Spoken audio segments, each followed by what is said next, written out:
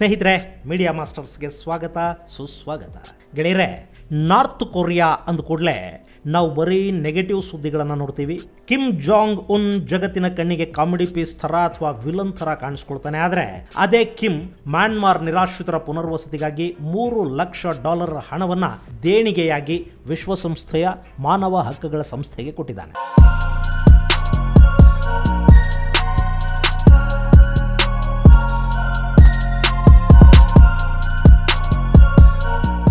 ಕಳೆದ ಹದಿನೈದು ವರ್ಷಗಳಲ್ಲಿ ಉತ್ತರ ಕೊರಿಯಾ ಕೊಡ್ತಾ ಇರೋ ಮೊದಲ ವಿದೇಶಿ ದೇಣಿಗೆ ಇದು. ಮ್ಯಾನ್ಮಾರ್ ಪರಿಸ್ಥಿತಿ ಏನಾಗಿದೆ ಅನ್ನೋದು ನಮಗೆಲ್ಲ ಚೆನ್ನಾಗಿ ಗೊತ್ತಿದೆ. ಅಲ್ಲಿ ಸೇನೆ ಚುನಾಯಿತ ಸರ್ಕಾರವನ್ನ ಪದಚ್ಯುತಗೊಳಿಸಿದೆ, ಅಧಿಕಾರವನ್ನು ತನ್ನ ಕೈಗೆತ್ಕೊಂಡಿದೆ ಈ ಘಟನೆಯನ್ನ ಪ್ರತಿಭಟಿಸಿ ಯಾರ್ಯಾರು ಬೀದಿಗಿಳಿದಿದ್ರು ಅವರೆಲ್ಲರನ್ನ ಮಟ್ಟ ಹಾಕೋದಿಕ್ಕೆ ಅತ್ಯಂತ ಕಠಿಣ ಕ್ರಮಗಳನ್ನ ಸೇನೆ ಕೈಗೊಂಡಿದೆ. ಅದರ ಪರಿಣಾಮ ನೂರಾರು ಜನ ಅಲ್ಲಿ ಸಾವಿಗೀಡಾಗಿದ್ದಾರೆ. ಸಾವಿರಾರು ಮಂದಿ ಸೇನಾ ಪಡೆಗಳಿಗೆ ಹೆದರಿ ಊರುಗಳನ್ನು ತೊರೆದು ಕಾಡುಗಳಲ್ಲಿ ವಾಸ ಮಾಡ್ತಾ ಇದ್ದಾರೆ. ಮತ್ತೊಂದಷ್ಟು ಜನ ದೇಶ ಬಿಟ್ಟು ದೇಶದ ಗಡಿಗಳನ್ನು ದಾಟಿ ಅಕ್ಕಪಕ್ಕದ ದೇಶಗಳಲ್ಲಿ ಆಶ್ರಯ ಪಡ್ಕೋತಾ ಇದ್ದಾರೆ. ಇದೆಲ್ಲದರ ಜೊತೆಗೆ ಅಲ್ಲಿ ಮ್ಯಾನ್ಮಾರ್ ಪ್ರತ್ಯೇಕತಾವಾದಿ ಸಂಘಟನೆಗಳು ಹಾಗೂ ಸೇನೆಯ ನಡುವೆ ಕೂಡ ಸಂಘರ್ಷ ತೀವ್ರ ಮಟ್ಟಕ್ಕೆ ತಲುಪಿದ್ದು ನಿರಂತರವಾಗಿ ಸೇನೆ ಹಾಗೂ ಬಂಡುಕೋರರು ಪರಸ್ಪರರ ಮೇಲೆ ದಾಳಿ ಮಾಡ್ಕೋತಾ ಇದ್ದಾರೆ. ಮೊನ್ನೆ ಅಲ್ಲಿನ ಇನ್ನೂರು ಮನೆಗಳಿರುವ ಕಿನ್ಮಾ ಅನ್ನೋ ಇಡೀ ಗ್ರಾಮಕ್ಕೆ ಬೆಂಕಿ ಹಚ್ಚಲಾಗಿದೆ. ಅಲ್ಲಿನ ಮಾಧ್ಯಮಗಳು ಇದು ಭಯೋತ್ಪಾದಕರು ಮಾಡಿರೋ ಕೃತ್ಯ ಅಂತ ಹೇಳ್ತಾ ಇದ್ರೆ ಅಲ್ಲಿನ ಪ್ರತ್ಯೇಕತಾವಾದಿ ಸಂಘಟನೆಗಳು ಇದು ಸೇನಾ ದಾಳಿಯಿಂದ ಉಂಟಾದ ಘಟನೆ ಅಂತ ಹೇಳ್ಕೊಳ್ತಾ ಇವೆ. ಒಟ್ಟು ಸೇನೆ ಹಾಗೂ ಬಂಡುಕೋರರ ನಡುವಿನ ಸಂಘರ್ಷದಲ್ಲಿ ಇಡೀ ಮ್ಯಾನ್ಮಾರ್ ಈಗ ನಲುಗಿ ಹೋಗ್ತಾ ಇದೆ.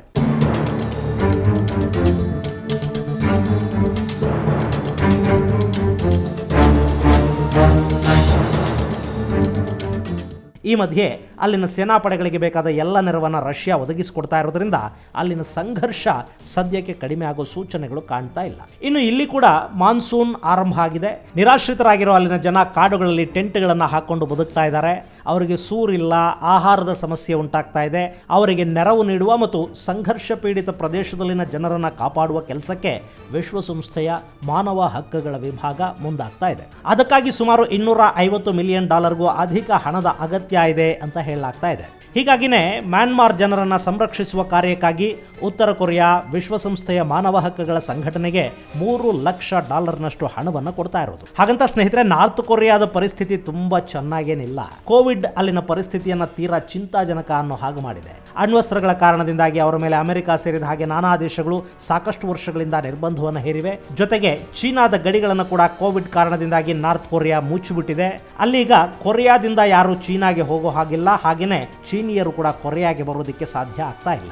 ಅಷ್ಟೇ ಅಲ್ಲ, ಚೀನಾ ಕೊರಿಯಾದ ಗಡಿಗಳಲ್ಲಿ ನಡೀತಾ ಇದ್ದ ವ್ಯಾಪಾರವನ್ನು ಕೂಡ ಸಂಪೂರ್ಣವಾಗಿ ನಿಲ್ಲಿಸಲಾಗಿದೆ. ಹೀಗಾಗಿ ಉತ್ತರ ಕೊರಿಯಾ ಈಗ ಕಂಪ್ಲೀಟ್ ಆಗಿ ಐಸೋಲೇಟ್ ಅಂತ ಅನ್ನಿಸ್ಕೊಳ್ತಾ ಇದೆ.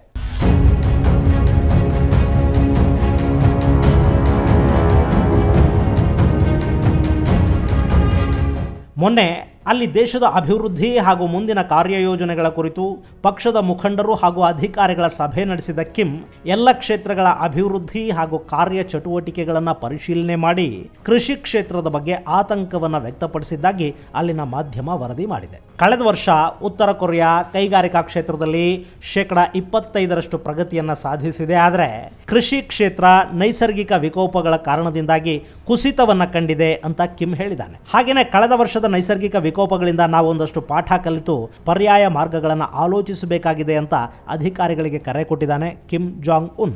ಅಲ್ಲಿ ಏನಾಗಿದೆ ಅಂದ್ರೆ ಕಳೆದ ವರ್ಷ ಚಂಡಮಾರುತಗಳು ಹಾಗೂ ಅನಾವೃಷ್ಟಿಯಿಂದಾಗಿ ಭಾರಿ ಪ್ರಮಾಣದಲ್ಲಿ ಬೆಳೆ ನಷ್ಟ ಉಂಟಾಗಿದ್ದು, ಇದು ಉತ್ತರ ಕೊರಿಯಾದಲ್ಲಿ ಈ ವರ್ಷ ಆಹಾರ ಪದಾರ್ಥಗಳ ಕೊರತೆಯನ್ನು ಉಂಟು ಮಾಡೋ ಸಾಧ್ಯತೆ ಇರುತ್ತೆ ಅಂತ ಹೇಳಲಾಗ್ತಾ ಇದೆ. ಹೀಗಾಗಿ ಯಾವುದೇ ಕಾರಣಕ್ಕೂ ಕೂಡ ಜನ ಹಸಿವಿಗೆ ಬೀಳದಂತೆ ಅಗತ್ಯವಿರುವ ಎಲ್ಲ ಎಚ್ಚರಿಕಾ ಕ್ರಮಗಳನ್ನು ತಗೊಳ್ಳೋದಿಕ್ಕೆ ಅಧಿಕಾರಿಗಳಿಗೆ ತಿಳಿಸಿರುವ ಕಿಮ್, ಮುಂದಿನ ವರ್ಷದ ಕೃಷಿ ಕ್ಷೇತ್ರದಲ್ಲಿ ಆಗಬೇಕಾದ ಬದಲಾವಣೆಗಳು ಹಾಗೂ ಆಹಾರ ಪದಾರ್ಥಗಳ ಉತ್ಪಾದನೆ ಹೆಚ್ಚಳಕ್ಕೆ ತಗೋಬೇಕಾದ ಕ್ರಮಗಳ ಬಗ್ಗೆ ಕೂಡ ಚರ್ಚಿಸಿದ್ದಾಗಿ ಅಲ್ಲಿನ ಮಾಧ್ಯಮದ ವರದಿಗಳು ತಿಳಿಸ್ತಾ ಇವೆ. ಆಹಾರ ಧಾನ್ಯಗಳ ಕೊರತೆ ಉಂಟಾಗಿರುವುದನ್ನು ತನ್ನ ಪ್ರಜೆಗಳಿಗೆ ಕೂಡ ಹೇಳಿರೋ ಕಿಮ್ ಆಹಾರವನ್ನು ವ್ಯರ್ಥ ಮಾಡದಂತೆ ತಿಳಿಸಿದ್ದಾನೆ. ಇನ್ನು ಗೆಳೆಯರೆ, ಉತ್ತರ ಕೊರಿಯಾದಲ್ಲಿ ಅಧಿಕೃತವಾಗಿ ಎಷ್ಟು ಕೋವಿಡ್ ಪ್ರಕರಣಗಳಿವೆ ಅನ್ನೋದನ್ನ ಅವರು ಬಹಿರಂಗ ಪಡಿಸ್ತಾ ಇಲ್ಲ. ಕೋವಿಡ್ ಕುರಿತಾದ ಯಾವ ಸುದ್ದಿಯೂ ಕೂಡ ಅಲ್ಲಿಂದ ಹೊರಗೆ ಬರ್ತಾ ಇಲ್ಲ. ಆದರೂ ಕೂಡ ಅಲ್ಲಿ ಕೋವಿಡ್ ಸಂಕಟ ಇಲ್ಲ ಅಂತೇನಲ್ಲ, ಹೀಗಾಗಿನೇ ಅವರು ಎಲ್ಲ ಗಡಿಗಳನ್ನು ಬಂದ್ ಮಾಡಿಕೊಂಡು ಕೂತಿದ್ದಾರೆ.